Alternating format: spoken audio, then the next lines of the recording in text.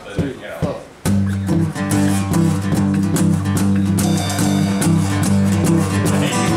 Well, the south side of Chicago is the baddest part of town. And if you go down there, you better just be with a man named Leroy Brown. Leroy, boy, the trouble. He's standing about six foot four. all Although downtown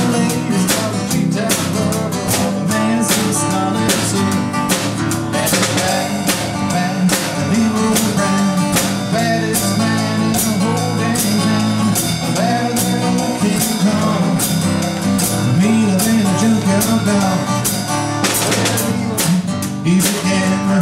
He like his fancy clothes.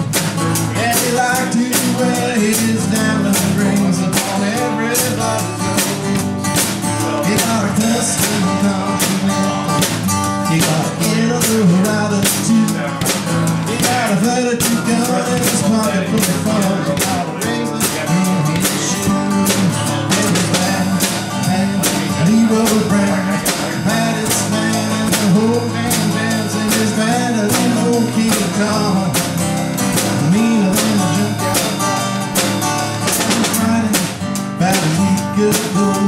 Leroy was shooting dice.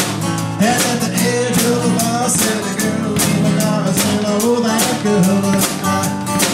And he cast his eyes upon her, and the trouble soon began.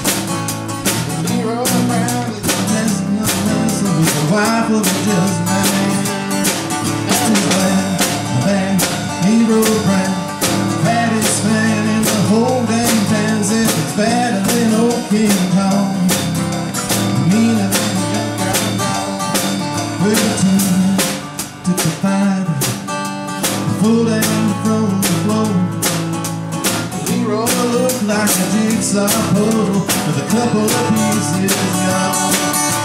Bad, bad, Leroy Brown, baddest man in the whole damn town, better than old King Kong,